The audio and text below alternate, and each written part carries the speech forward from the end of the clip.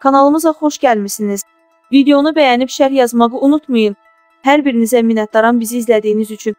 Prezident Əliyev Rusiya mediasına müsahibəsindən sonra Türkiyə mediasına müsahibə verdi. Bu anım günü ilə bağlı olsa da Əliyevin səsləndirdiyi fikirlər, verdiyi mesajlar həm də siyasi gedişlərin tərkib hissəsi olduğunu deməyə əsas verir. Əliyev Rusiya mediasında Moskvaya iki müsbət siqnal ötürdü, Rus sülh məramlılarının fəaliyyətini qənaətbəxş adlandırdı. Halbuki öncəki çıxışlarından sərt mövqe sərgiləmişdi, hərbi texniki əməkdaşlığın davam etdiriləcəyini, müəyyən sifarişlərin verildiyini açıqladı. Ruslar regionun silah bazarında iştirak payının azalmasını istəmirlər. Əliyev Türkiyə mediasına müsahibəsində də Moskvaya müsbət siqnallar göndərdi kiçik problemlərin olmasına baxmayaraq. Sülh məramlıların fəaliyyətindən razılıq etdi. Moskvanın İrəvanı yenidən silahlandırması ilə bağlı məsələni erməni təbliğatı adlandırdı və bu məsələnin yanlış təqdim olunduğunu vurğuladı. Bakı-Moskva arasında münasibətləri kifayət qədər yüksək qiymətləndirdi. Hər iki ölkənin mediasına verilən müsahibədə ortaq mövqe bildi. Münaqişə həll olunub, Rus sülh məramlılarının müvəqqəti nəzarət etdiyi ərazilər Azərbaycan ərazisidir və orada yaşayan ermənilər Azərbaycan vətəndaşıdır. Bu fikirlərin Soçidə Ərdoğan-Putin görüşündən öncə bildirilməsi Bakının görüşlə bağlı gözləntilərindən irəli gəlir və Rusiyaya müsbət mesajlar verən prezident mövqeyini yenidən gündəmə gətirir.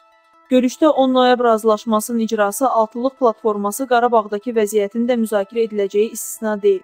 O da istisna deyil ki, Ərdoğan Əliyevin Qarabağla bağlı mövqeyini masaya daşıyacaq.